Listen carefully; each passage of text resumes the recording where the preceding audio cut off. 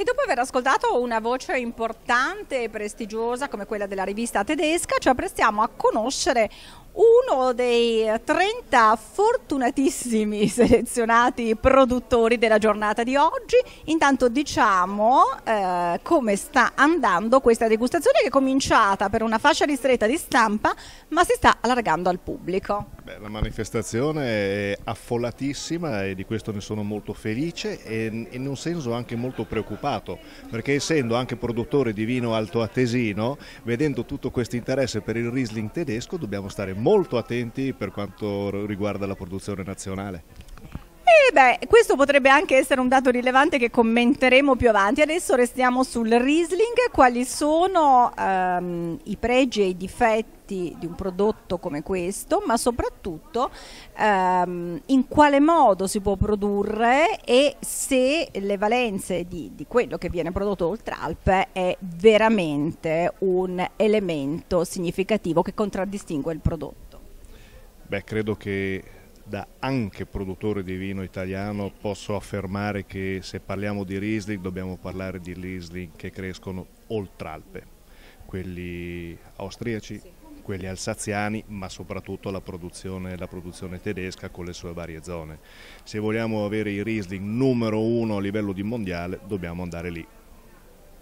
E proprio perché anche produttore, eh, diciamo, altoatesino, se ho ben capito, ecco, um, quali sono le, le, differenze di produrre uh, in Italia e produrre altrove? Cioè proprio a livello di sia di conformazione di territorio, quindi che cosa si incontra quando si va oltre ma poi soprattutto anche dal punto di vista dell'organizzazione del lavoro. Beh, direi che a livello di organizzazione del lavoro è uguale sia in Italia che in Germania.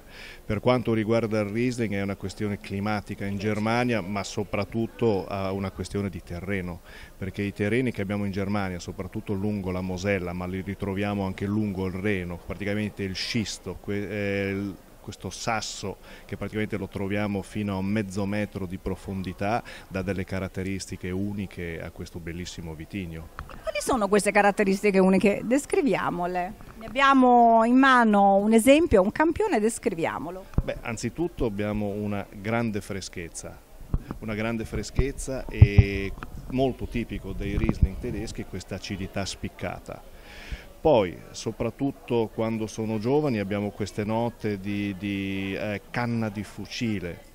Poi quando invecchia, e per invecchiamento intendo dai 10 anni in su, abbiamo anche questo lieve, lieve sentore di petrolio che è molto tipico del Riesling.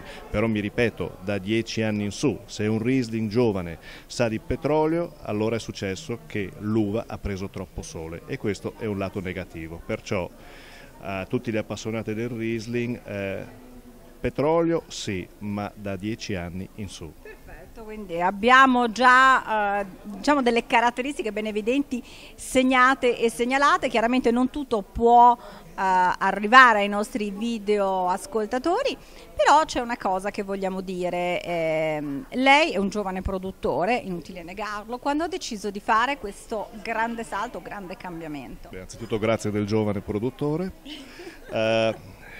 Questo è sempre stato un mio sogno di produrre un grande Riesling. In Alto Adige sì, lavoriamo anche con il, con il vitigno Riesling, però come ho detto prima non dà i risultati come li dà in Germania e perciò ho sempre avuto questo sogno di produrre un grande Riesling.